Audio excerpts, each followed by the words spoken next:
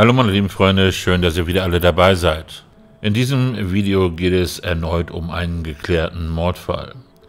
Ich denke, viele werden sich an diesen Fall erinnern, vielleicht auch einige, dass er gelöst wurde, aber trotzdem möchte ich nochmal die Geschichte von Melanie R. erzählen. Am Freitag, dem 25. Mai 2018, dies war ein warmer, sonniger Frühsommertag, möchte Melanie R.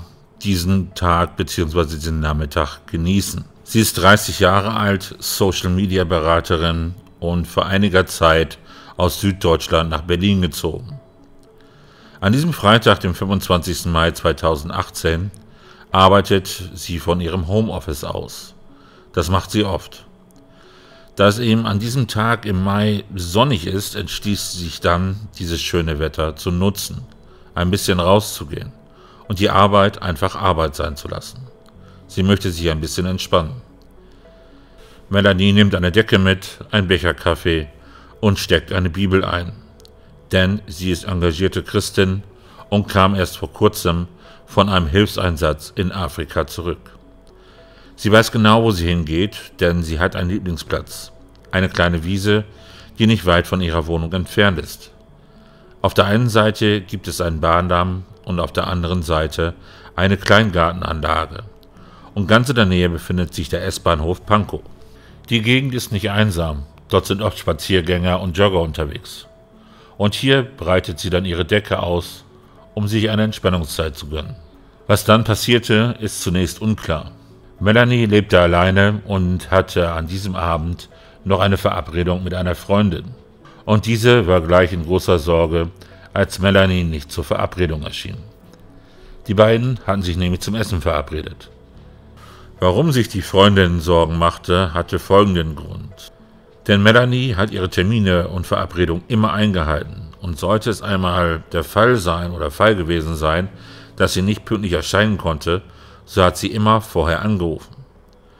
Und die Freundin kontaktierte dann sogleich andere Freunde, um in Erfahrung zu bringen, wo Melanie denn ist. Und da niemand wusste, wo sie sich aufhält, schaute man auch in die Wohnung von Melanie. Aber auch dort gab es keine Spur von ihr oder irgendein Hinweis darauf, was mit ihr passiert sein könnte. Deswegen gingen die Freunde auch dann direkt zur Polizei und meldeten Melanie als vermisst. Einer aus ihrem oder eine Person aus ihrem Freundeskreis hatte dann einen, einen Schlüssel zu der Wohnung von Melanie und deswegen konnte man die Wohnung öffnen und reingehen. Und dann passierte erst einmal nichts nach der vermissten Meldung. Aber am Sonntag, dem 27. Mai 2015, entdeckte ein Flaschensammler in einem Gebüsch an diesem Bahndamm in Berlin-Pankow, in dessen Nähe Melanie ihre Pause verbracht hatte, beziehungsweise sich wohl sonnen wollte, die Leiche einer Frau. Sie liegt neben einer Schallschutzmauer, die mit Graffiti beschmiert ist. Und diese S-Bahn-Trasse lag parallel oder liegt parallel zur Dolomitenstraße. Sie ist mit einer Decke abgedeckt und neben der Leiche liegen ein Handy, Kopfhörer und eine Bibel. Der Flaschensammler ruft dann umgehend die Polizei an, die natürlich auch sofort am Fundort eintrifft. Schnell stellt man dann fest, dass es sich bei der gefundenen Leiche um die seit zwei Tagen vermisste Melanie R. handelt. Aufgrund der Auffindesituation geht man dann natürlich davon aus, dass es sich nicht um einen Unfall handelt. Und der Fall wird an die Mordkommission übergeben, die den Fall dann auch übernimmt. Die Leiche lag eben parallel zur Schallschutzmauer in einem Gebüsch und war von Kopf bis Fuß mit einer blau-weißen Decke abgedeckt und über dieser Decke war die Leiche von oben bis unten komplett mit Grashalmen oder Grasbüscheln bedeckt. Das Ganze war so, dass, wenn man einfach nur vorbeiging, man die Leiche gar nicht sofort erkennen konnte. Der Täter hatte sich also große Mühe gegeben, dass sie nicht sofort entdeckt wurde. Die Polizei geht davon aus, dass Melanie am 25. Mai zwischen 16 Uhr und 19 Uhr getötet wurde. Auch die Freunde von Melanie waren mehrfach auf diesem Gelände, da sie ja wussten, dass Melanie sich dort gerne aufhält. Aber auch sie haben Melanies Leiche nicht gesehen. Die Freunde waren an diesem Sonntag, an dem Melanie gefunden wurde, auch wieder unterwegs, um nach ihr zu suchen. Und die Freunde treffen dann durch Zufall auf Katharina Tromalla, die ermittelnde Kommissarin, und die Kollegen von der Mordkommission, die gerade dabei waren, den Fundort der Leiche zu untersuchen. Die Freunde wurden dann über den Fund und den Tod von Melanie unterrichtet, da man relativ sicher war, dass es sich bei der Toten um Melanie handelt. Weiterhin wurden die Freunde dann vernommen, um mehr über Melanie zu erfahren. So versuchte man unter anderem herauszufinden, ob und wo es Konflikte in Melanies Leben gab, die eventuell zu so einer Tat führen könnten. Die ersten Recherchen oder Vernehmungen vor Ort ergeben dann ein erstes Bild über Melanie. Sie war sehr beliebt und sozial engagiert und es gibt keine großen Konflikte oder Motive für einen Mord. Auch habe es keine Info über eine enttäuschte Liebe, Eifersucht, irgendetwas in dieser Richtung als Motiv gegeben. Die weitere Untersuchung des Fundorts ergab, dass es sich auch um den Tatort handelte, also Fundort gleich Tatort.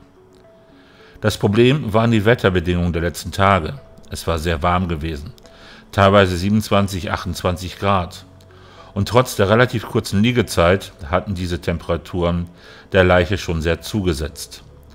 Das nächste Problem war, dass nach dem Fund der Leiche ein Wärmegewitter aufgezogen ist. Deswegen wurde schnell ein Zelt aufgebaut, damit die Leiche und die Spuren dann vor dem Regen geschützt waren. Dann konnte mit den Untersuchungen nach DNA-Spuren des Täters begonnen werden. Es wurden dann auch noch ihre Bekleidung, also ein Kleid und ihre Flipflops gefunden. Alle gefundenen Gegenstände wurden dann natürlich in die Kriminaltechnik gebracht, um diese auf weitere Spuren zu untersuchen. Man hat sich dann natürlich auch die Wohnung von Melanie vorgenommen, um dort eventuell Hinweise auf den Täter zu finden. Vielleicht Notizen, Bilder oder ähnliches, die auf eine Person hindeuten. Also die üblichen Ermittlungsschritte. Denn es bestand ja die Möglichkeit, dass sie Kontakt zu jemandem hatte, den andere Personen aus ihrem Umfeld gar nicht kannten, eventuell eine heimliche Liebe oder ähnliches. Natürlich wurde in dem Wohnhaus dann auch eine Nachbarschaftsbefragung durchgeführt.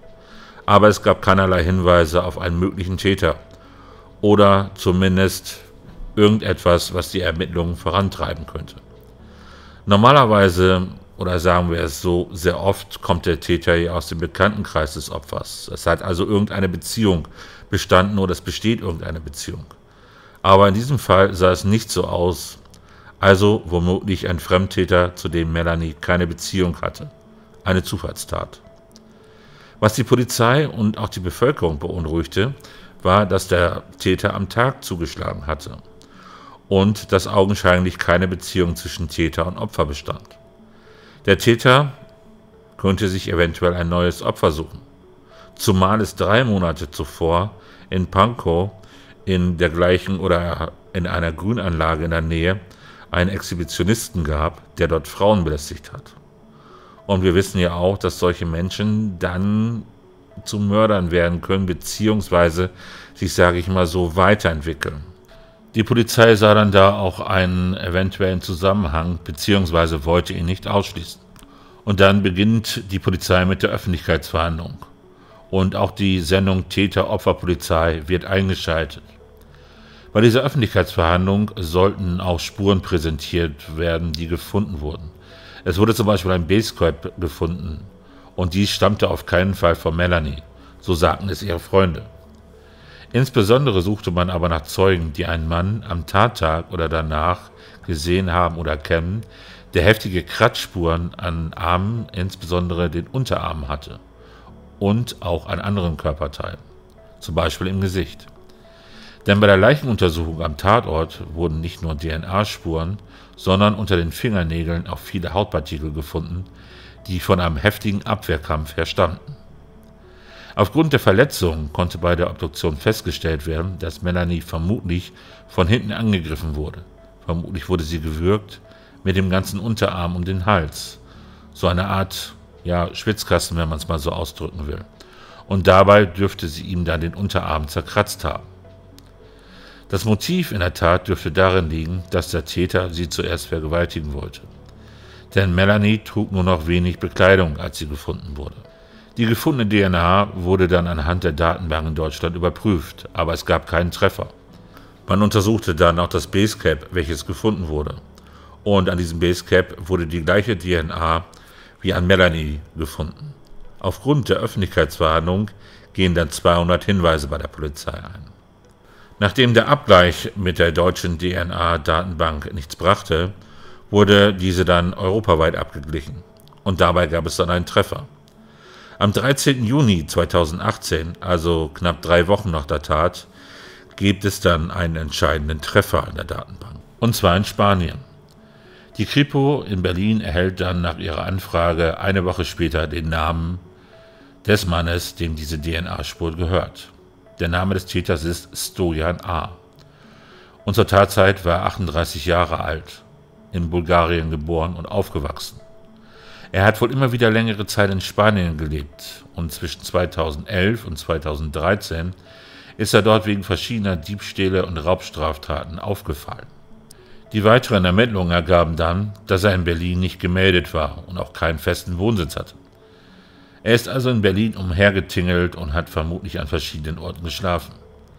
Es gab auch eine Anzeige gegen ihn wegen Diebstahls in einem Supermarkt und eine Anzeige wegen einer Raubstraftat und zwar vom Samstag, dem 27. Mai, der Tag, an dem Melanie gefunden wurde. Er hatte morgens um 6 Uhr in Humboldtheim dort einen Mann überfallen und ihm seine Tasche geraubt. Er wurde festgenommen. Er wurde erkennungsdienstlich behandelt und auf diesen Fotos konnte man dann feststellen, dass er ganz heftige Kratzer im Gesicht hatte. Und zwar die Kratzer, die Melanie ihm zufügte. Die Polizei konnte dann eine Mobilnummer ermitteln, die Stojan A. zugeordnet werden konnte. Und diese wurde ab dann permanent überwacht. Also anscheinend wurde Stojan A. dann, nachdem er erkennungsdienstlich behandelt wurde, dann wieder freigelassen. Also diese Rufnummer wurde dann permanent überwacht. Und am 27. Juni 2018 konnte das Handy dann geortet werden. Und es wurde ein Mann festgenommen. An diesem Tag war das letzte Vorrundenspiel in der WM für Deutschland. Dieses Spiel verlor Deutschland ja bekanntlich mit 2 zu 0 gegen Südkorea und Deutschland schied aus. Und das Handy wurde eben auf der Fanmeile geortet, wo sich viele Leute im Public Viewing das Spiel angeschaut haben. Aber der Festgenommene war da nicht Stojan A. Dies war ein Bekannter von Stojan. Und diesem Bekannten hatte er das Handy überlassen. Der Mann, der da festgenommen wurde, erzählte dann in seiner Vernehmung, dass Stojan mittlerweile wieder in Spanien ist. Und zwar zu seiner Mutter, die dort in Spanien wohnt. Und er konnte dann mit Hilfe der spanischen Behörden festgenommen werden, im Norden Spaniens in Burgos. Dort wurde er in der Innenstadt entdeckt und festgenommen. Dann erfolgte die Auslieferung nach Deutschland. Noch ein paar Informationen zu Stojan A. Er verließ die Schule in Bulgarien sehr früh und wurde auch recht schnell kriminell. Ein Teil der Familie ging nach Spanien und er war auch immer mal wieder dort. Er war verheiratet bzw. ist verheiratet und hat zwei Kinder. Und in Spanien fiel er regelmäßig durch Straftaten auf und in Deutschland arbeitete er dann auch nicht, wenn er sich dort aufhielt. Unter anderem prostituierte er sich in Berlin und lebte ab und zu bei Freunden oder Bekannten, aber auch in leerstehenden Ruinen und so weiter. Er hielt sich dort also oftmals auch im Obdachlosenmilieu auf. Dann im Februar 2019, ich glaube am 11. Februar, beginnt der Prozess vor dem Landgericht in Berlin. Und der 39-Jährige werde sich vorerst nicht äußern, erklärte sein Verteidiger nach Verlesung der Anklage. Die Staatsanwaltschaft legt dem Bulgaren Stojan A einen Mord zur Verdeckung einer versuchten Vergewaltigung zur Last. Das Gericht hat allerdings einen rechtlichen Hinweis erteilt, wonach statt einer Sexualstraftat ein versuchter Raub des Mobiltelefons der Frau in Betracht komme. Das Opfer habe sich unter anderem durch Kratzen heftig gewehrt, heißt es in der Anklage. Stojan A. habe ihr zumindest den Rock ausgezogen, den nur noch ihren Oberkörper bedeckenden Büstenhalter gegriffen um ihn zur Durchsetzung seiner fortbestehenden sexuellen Begierde abzustreifen, heißt es in der Anklage weiter. Als er sich an der weiteren Tatausführung aber gehindert sah und auch die Entdeckung durch zufällig vorbeikommende Dritte befürchtete, soll er Melanie R. getötet haben. Die 30-Jährige sei durch Verlegung der Atemwege innerhalb kurzer Zeit gestorben. Stojan A. soll sich im Ermittlungsverfahren geäußert und erklärt haben, dass er keine sexuellen Absichten gehabt habe. Zur Tötung der Frau habe er damals keine Angaben gemacht, hieß es am Rande der Verhandlung. Seine Angaben seien widersprüchlich gewesen. In einer Aussage soll er erklärt haben, es sei ihm nur um das Mobiltelefon gegangen. Er habe die Frau nicht weiter berührt. Außerdem habe er nicht gewollt, dass sie stirbt. Als er das Mobiltelefon an sich bringen wollte, habe Melanie sich stark gewehrt. Es sei zum Kampf gekommen und beide seien dann den Hang am Bahndamm heruntergerollt und wären dann gegen die Schallschutzwand geprallt. Melanie hätte dann leblos dagelegen und er hielt sie für tot.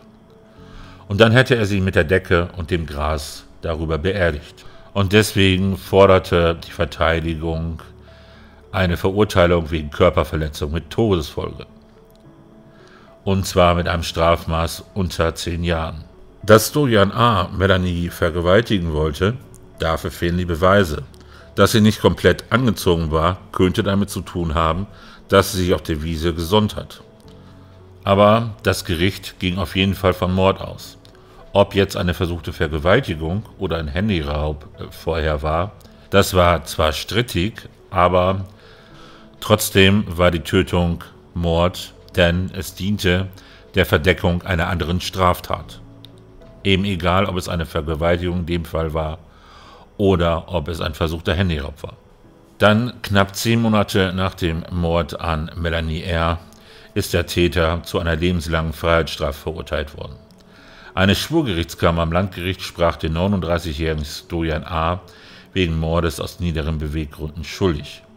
Für das Gericht steht fest, dass der aus Bulgarien stammende Mann sein Opfer erwürgte, um einen vorangegangenen Raubversuch zu verdecken. Die Staatsanwaltschaft hat Stojan A. ursprünglich wegen Mordes und versuchter Vergewaltigung angeklagt. Für das Gericht stand am Ende des Prozesses aber fest, der Täter habe die Frau nicht vergewaltigen, sondern ihr Handy rauben wollen. Melanie R. habe sich heftig gewehrt und laut um Hilfe geschrien. Dabei sei es zu einem Gerangel gekommen. In dessen Verlauf Stojan A. die 30-Jährige so lange wirkte, bis der Tod eintrat. Was hier natürlich auch wieder heftig ist, wenn sie um Hilfe geschrien hat, dass niemand ähm, ja, nachgeschaut hat, was da los ist und ihr geholfen hat.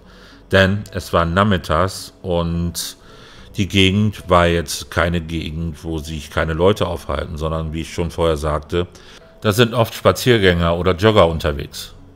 Tatort war eine Grünfläche in Pankow zwischen S-Bahn-Gleisen und einer Kleingartenanlage gelegen. Hier hielt sich die Social-Media-Beraterin häufig auf, um zu entspannen, zu lesen und sich zu sonnen. Auch am Nachmittag des 25. Mai 2018. Dort entdeckte sie der auf einem Fahrrad vorbeifahrende Stojan A. und beschloss nach Überzeugung des Gerichts umgehend, der Frau das Handy zu entwenden. Nach der Tat schleppte der Täter sein Opfer in ein nahegelegenes Gebüsch, wo die Leiche zwei Tage später von einem Flaschensammler entdeckt wurde. Aufgrund des im Mai vergangenen Jahres besonders warmen Wetters hatte die Verwesung bereits eingesetzt. Trotzdem konnten Rechtsmediziner an der Leiche DNA-Material sichern, das den Verdacht auf Stojan A. lenkte, der bereits wegen anderer Delikte polizeilich erfasst war. Das Zusammentreffen von Täter und Opfer war ein Treffen zweier Menschen aus gänzlich unterschiedlichen Welten. In ihrer Urteilsbegründung beschrieb die Vorsitzende der 21. Schwurgerichtskammer die aus Baden-Württemberg stammende Melanie R. als selbstbewusste, beruflich erfolgreiche Frau. Sie sei kirchlich und sozial engagiert gewesen. In ihrer Kirchengemeinde habe sie sich unter anderem vor allem um Obdachlose gekümmert. Zu dieser Klientel gehörte auch Stojan A., geboren und aufgewachsen als Mitglied einer kurdischen Minderheit in Bulgarien lebte der Mann bis heute permanent in ärmlichen Verhältnissen. Er ist kaum zur Schule gegangen, hat keinen Beruf erlernt und ein Gutachter bescheinigte ihm deutlich unterdurchschnittliche Intelligenz. Einige Monate vor der Tat kam Stojan A. nach Berlin, lebte auf der Straße und verbrachte die Nächte überwiegend in einem provisorisch hergerichteten Lager im Humboldtheim. Etwas Geld verdiente er sich durch Flaschensammeln und gelegentlicher Prostitution im homosexuellen Milieu. Gelegenheitsjobs, die er annahm, wurden zumeist schlecht, mitunter gar nicht bezahlt. Nach dem Mord an Melanie R. wurde Stojan A. nur wenige Tage später zweimal von der Polizei festgenommen. Nach einem Raubversuch und nach einem Ladendiebstahl. Beide Male ließen die Beamten ihn wieder laufen, nicht ahnend, wen sie da vor sich hatten. Erst Wochen später geriet er aufgrund der DNA-Beweise unter Mordverdacht. Da hatte Stojan A. sich bereits nach Spanien abgesetzt, wo er im Sommer 2018 festgenommen und kurz darauf ausgeliefert wurde. So, das war es mit dem Fall. Allerdings bleibt eine Frage für mich offen. Er wollte ja das Handy rauben und das wurde ja bei Gericht auch so gesagt, dass der Grund erst einmal war, er wollte das Handy rauben und um diesen Raubversuch ja eben nicht an die Öffentlichkeit kommen zu lassen, hat er Melanie dann getötet. Also, nach der Darstellung des Gerichts wollte er das Handy rauben. Nachdem er sie getötet hat, schleppt er die Leiche dann ins Gebüsch, bedeckt sie dort mit einer Decke. Von oben bis unten wird sie dann noch mit Grashalmen oder Grasbüscheln bedeckt. Dafür hatte er Zeit, vor allen Dingen, sage ich mir mal, ähm, gleich von oben bis unten mit Grasbüscheln oder mit Grashalmen zu bedecken. Das braucht schon seine Zeit, denke ich mir. Aber er hatte dann anscheinend wohl keine Zeit mehr, das Ziel seiner Begierde an sich zu nehmen, beziehungsweise dann urplötzlich wurde das Interesse verloren. Nämlich das Handy. Denn das Handy wurde ja dort gefunden. Irgendwie wurde diese Frage meiner Meinung nach zumindest in den vorliegenden Artikeln nicht beantwortet. Wenn man etwas haben will, dafür tötet, dann nimmt man es meiner Meinung nach auch mit.